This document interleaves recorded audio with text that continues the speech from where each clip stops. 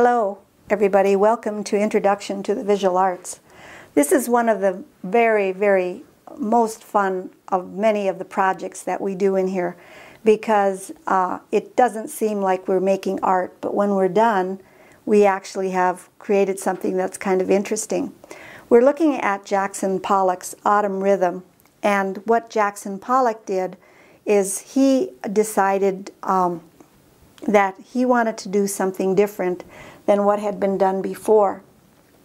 He was very interested in the surrealists, and the surrealists were always trying to get into their subconscious. They were always trying to get into a, a different level of thinking that was not just a conscious level of thinking.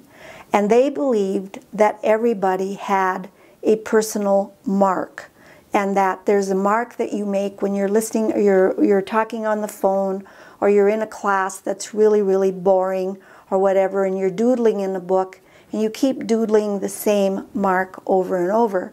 Well, Jackson Pollock was interested in that mark.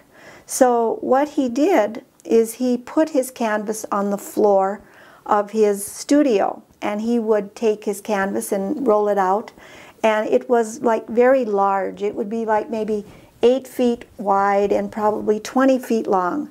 And he didn't put it up on the wall or he didn't attach it to any stretcher strips. He just laid it on the floor.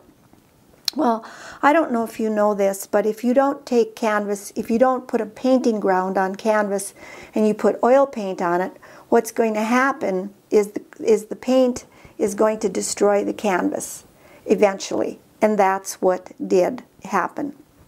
Well, another thing that Jackson Pollock was thinking about when he made his large canvases is that he knew about the painters in Europe and that most of the paintings were hung salon style. That means that it would be all the way from the bottom of the floor to the top of the ceiling. And it depended on it, the luck of the draw where your painting was hung. So these artists, they said, okay, I need to have my painting big so people can see it depending on where it's going to hang. So they painted really, really large. And so Jackson Pollock knew that, so he wanted a very, very large painting. So um, I don't know how well it worked for the European painters, but it must have worked well because they continued to make very large paintings for a long, long time. So Jackson Pollock painted his drip paintings. His nickname is Jack the Dripper and these are kind of a drip painting because what he did is he took uh, sticks. He didn't even take paintbrushes. He took sticks and he used five gallon paint cans and he stuck, or not five gallon, but one gallon paint cans and he stuck, he took the stick and he stuck it into the paint can and then he took that stick and just went snap on the canvas. And if you do that, snap with your wrist, snap, and you have some paint on a stick, you're going to get a splatter on the floor. And that's what he did. And he'd walk around his canvases and he'd, he'd dip, splatter, dip, splat, dip, splat, dip, splat, all the way around his canvas. And then he'd go with another color. And he'd dip, splat, dip, splat, all the way around again. And so he did this many, many times until he got the kind of repetition that he was looking for. Now, he says that he's going on this idea that everybody has their unique mark.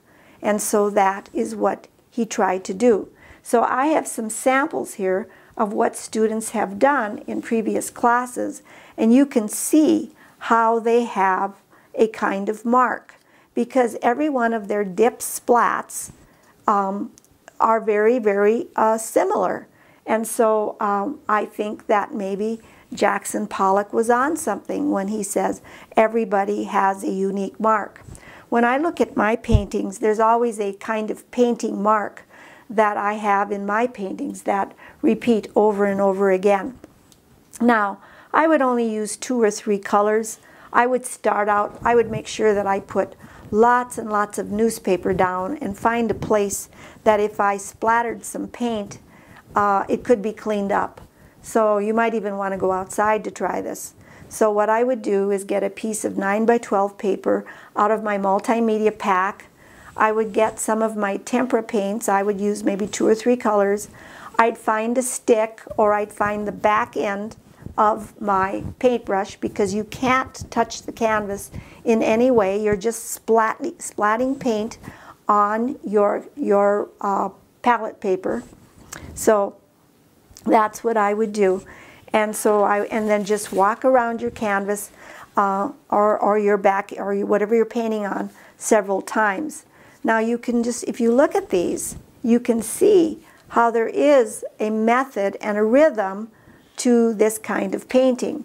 This kind of painting is actually called action painting. So what is so much fun about this project is everybody comes up with their own unique mark. So I challenge you to do an action painting, a drip painting. It should only take you, oh, five or 10 minutes. After you have your painting made, be sure you let it dry well, and then go ahead and be sure you clean up your mess and clean up, um, you know, all of the evidence. So some of these that I'm looking at are a little scribbly, but not the ones that I'm showing you. So you, you can see how you have this repetition. So go ahead, make your action painting, and um, have fun with it. And I'll talk to you again next time. Thank you for your attention.